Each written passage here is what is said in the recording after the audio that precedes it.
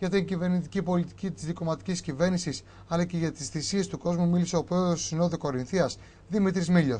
Παράλληλα, ο κ. Μίλιο είναι αισιόδοξος και μιλάει για πλεόνασμα της χώρας αλλά και για ανάπτυξη η οποία θα έρθει μέσα από ριζικέ αλλαγές της χώρας αλλά και των ίδιων των πολιτών. Όπως γνωρίζετε όλοι, βρεθήκαμε σε ένα μονόδρομο. Σε ένα μονόδρομο στον οποίο θα πρέπει ε, επώδυνα, δυστυχώς επώδυνα, να κάνουμε κάποιες θυσίες ώστε να μπορούμε να κάνουμε κατά κύριο ρόλο την ανάκαμψη και μετά την ανάπτυξη.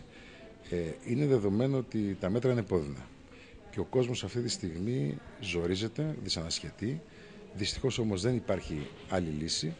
Πιστεύουμε ότι πολύ σύντομα θα έχουμε πλεόνασμα, οπότε από τη στιγμή που θα αρχίσει και θα έχουμε το πλεόνασμα θα κάνουμε μια καλύτερη διαπραγμάτευση. Εγώ πιστεύω ότι πάντα από τα δύσκολα εμείς τα ξεπερνάμε. Είναι η υπομονή του λαού μας τέτοια και η επιμονή. Πιστεύω ότι είμαστε σε καλό δρόμο. Χρειάζονται θυσίες, χρειάζεται κάποια στιγμή να καταλάβουμε ότι το κράτος πρέπει να λειτουργήσει σαν κράτος, να ξεχάσουμε παλιές νοοτροπίες, αρρωστημένες συνδικαλιστικές σχέσεις, πρέπει να γίνει υγιής ο συνδικαλισμός, να κοιτάξουμε την πρόοδο μπροστά. Ε, βέβαια δεν είναι ευχάριστο όλο αυτό που περνάμε, ζοριζόμαστε όλοι οικονομικά, και εγώ έχω οικογένεια όπως όλοι, αλλά δεν υπάρχει άλλος δρόμος. Ε, πιστεύω όμως ότι έχει αρχίσει ήδη και φαίνεται ένα φως στο τούνελ. Και το 2014 θα είναι μια καλύτερη χρονιά από αυτή που περνάμε τώρα. Είμαι αισιόδοξος. Πιστεύω ότι κάποια στιγμή αυτή τη συνταγή που μας ε, βάλανε αναγνωρίζουν πλέον ότι δεν είναι αυτή η οποία αποδίδει καρπούς. Παρ' όλα αυτά εμείς ε, σαν πολιτεία, σαν κράτος, σαν λαός έχουμε δείξει τα μέγιστα πάμε σε πολύ καλό δρόμο. Ε, θα πρέπει να αλλάξει και η νοοτροπία της φιλοσοφίας μας. Αυτή τη στιγμή θα πρέπει κάποιος που εργάζεται να αποδεικνύει ότι είναι άξιος και εργάζεται. Θα πρέπει τα μέσα μαζικής ενημέρωσης να μην ε, προβληματίζουν και διωγγώνουν κάποια προβλήματα περισσότερο. Υπάρχει κινητικότητα, δεν υπάρχει ε, απόλυση.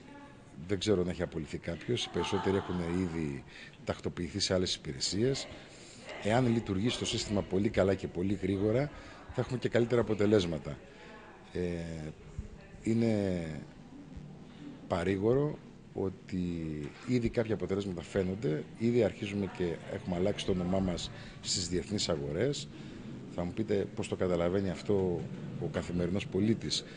Δεν το καταλαβαίνει, αλλά σιγά σιγά πιστεύω ότι θα αρχίσει να αποκτάει και αξία το χρήμα που έχουμε. Πιστεύω ότι αν πετύχει το μέτρο του ΦΠΑ στην εστίαση, ίσως αυτό να επεκταθεί και σε άλλα πράγματα, να μειωθεί, οπότε σίγουρα θα δούμε μια διαφορετική εικόνα στην αξία των χρημάτων που έχουμε στην τσέπη μας. Ε, κάνω υπομονή όπως κάνει όλος ο κόσμος. Πιστεύω ότι ο Αντώνης Σαμαράς αυτή τη στιγμή όχι μόνο είναι ο καταλληλότερος σαν Πρωθυπουργός, αλλά έχει βάλει τις βάσεις ώστε έτσι να μπορούμε πιο γρήγορα να ξεπεράσουμε αυτό το την κατηφόρα που είχαν πάρει. Ήδη είμαστε στο ίσωμα. Αυτό που θέλουμε τώρα είναι να πάρουμε να επιταχύνουμε και προσπαθώ να είμαι αισιόδοξος και πιστεύω ότι κάποια στιγμή ε, η ιστορία θα αποδείξει αυτό που είχε αποδείξει πάντα ότι εμείς οι Έλληνες πάντα από κάποια κρίση περνάμε, δεν είναι η πρώτη φορά. Η ίδια κρίση περάσαμε την περίοδο 49-54, η ίδια κρίση περάσαμε μετά τη μεταπολίτευση. Απλά τώρα θα πρέπει να γίνουμε περισσότερο όριμοι στη σκέψη, θα πρέπει να γίνουμε περισσότερο όριμοι στις επιλογές, να αποφύγουμε τις παγίδες οι οποίες κρύβονται και οι οποίες ουσιαστικά πηγάζουν από την αντίδρασή μας και είναι κινήσεις πανικού, θα πρέπει να λείψουν αυτές. Υπάρχουν πράγματα τα οποία ε, είναι αντίδραση για την αντίδραση, αυτά θα πρέπει να τα αποφύγουμε. Είδαμε η, η αντίδραση που οδήγησε την Κύπρο, δεν είμαστε για τέτοια.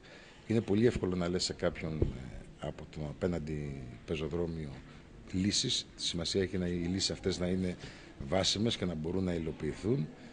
Ε, πιστεύω ότι θα είναι ίσως ο τελευταίος χειμώνας που θα περάσουμε και θα είναι δύσκολος και η άνοιξη του 2014 θα φέρει άνοιξη και σε εμάς.